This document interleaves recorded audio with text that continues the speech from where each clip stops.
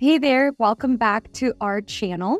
In today's Customer Corner video, we are going to talk about how to enhance the user registration process by allowing users to upload a profile image. If the user decides not to upload a profile image, a generic one will be assigned for them. So let's take a look at how to do that. The first step that I took here was to create a database table and I labeled it images. In this table here, I am storing the generic picture that will be assigned to users that decide not to provide a profile picture. The next step was to create a user table. And then in this user table, I have all of the fields. And then the next step that I took was in the user table, I added this profile picture image metadata field um, and you can do that by adding fields, going into storage, and then selecting image metadata. Next up, we are navigating over to our auth signup endpoint here. And as you can see, here are the inputs that we are taking in from the front end. So we have our email, password, first name, last name, and profile picture. If we were to take a look at what this would look like in the front end, I created this in React. And here we are accepting those different fields. Now, once the user provides those fields, what we'll want to do is execute everything in the function stack. And the first step here is to make sure that the user that is trying to register does not already exist in our user table. So we are grabbing the record from our user table and we are checking to see if there is an user that already exists in there that has the email address of the user that is currently trying to register. If a user does exist in our user table, then we are going to get this error here saying that this account is already in use. The next step is to create a conditional statement. In this conditional statement, we are checking to see if the user did provide a profile image.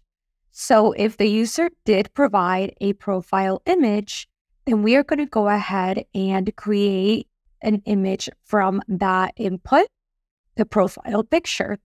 And what this is doing, this is creating the image metadata from the file resource so that it can be formatted to be properly stored in Xano.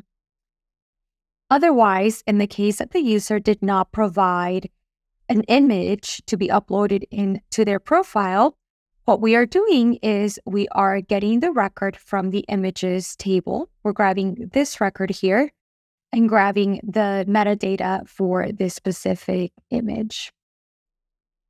Once we have that, then I created a variable, and then this variable is going to contain the image URL and then what I'll do is I'm going to create a file resource using that specific URL.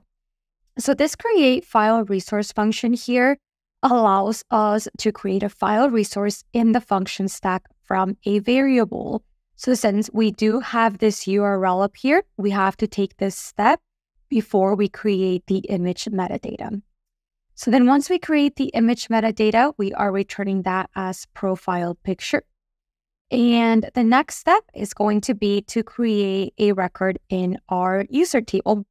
We're going to be providing all of the information and then the profile picture, whether that be the one that they provided or the generic one.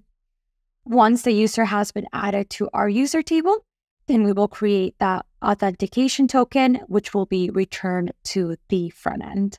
So let's take a look at what this looks like in action. So once again, I created this mockup here using React. So let's go through the use case of when a user provides an image that they decide to upload, and then a use case where they do not provide an image and the generic one gets assigned to their profile. So let's say that we have a user. I'll use my name here, Liz Anaya.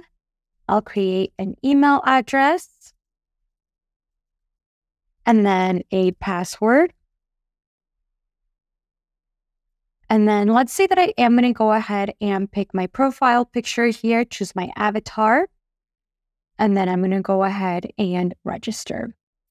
I went ahead and pressed the register button, which then sends a request to our auth sign up endpoint. And if we check our user table here, I can see that my user got created and now we have this profile picture living here. All right, now let's take a look to see what happens when a user does not provide a profile image.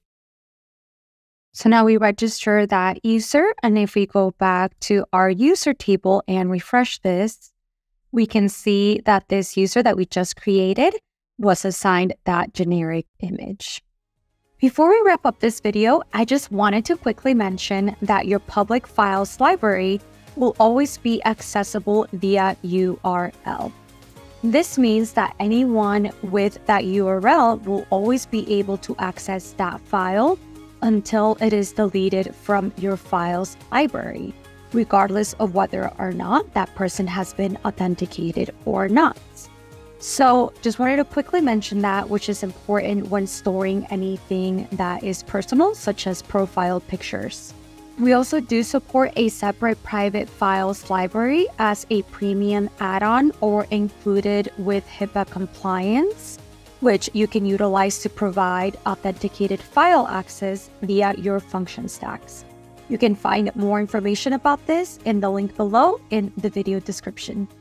All right, everybody, talk to you soon. I hope that this video is helpful. Please let us know if you have any questions, and we look forward to seeing you again soon. Bye bye.